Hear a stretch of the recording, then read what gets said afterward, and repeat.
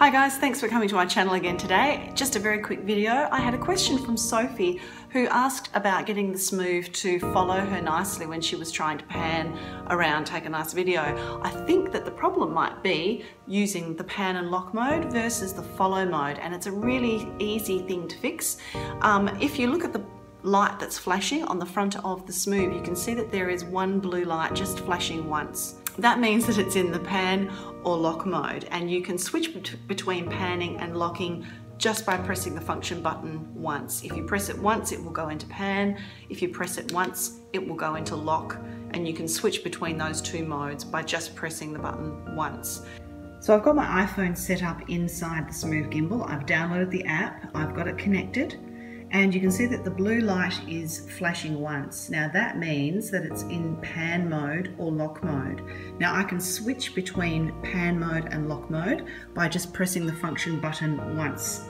So if I'm panning, you can see that it will follow where I'm going. So I'm panning around in my living room. There's Olive the Greyhound.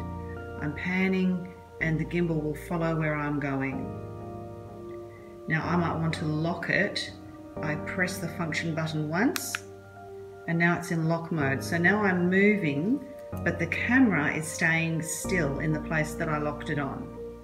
Now to go back to panning mode, I just press the button once and we're back into panning mode again.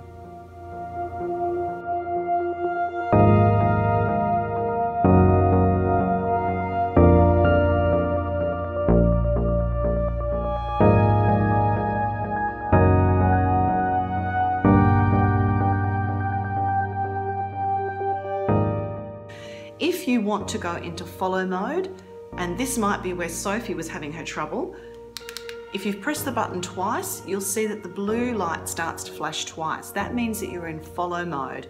It doesn't pan as nicely when you're in follow mode, and that might be where you get a bit of crazy action with the camera sort of going its own way and you don't know what is happening. When that happens, if you've pressed the button by mistake or whatever, just press the trigger button at the back twice and it will reset back into the pan lock mode. Another problem that um, I had and still have sometimes, and other people people have been having as well, is when you lower the camera down and it, at one point it will flip, see that? It will flip. Again, just press the trigger and it will return. But what I've found is that you can anticipate when it's going to flip. So once I get down to a certain level, bend your knees and lower yourself down and that seems to help prevent that from happening. So I can put the camera right down on the ground and it's staying in the position that I want it to because I've squatted down. If I move up, I stand up as well and we can go all the way up to the ceiling almost well, much higher. So down I go, probably hear my knees crack and then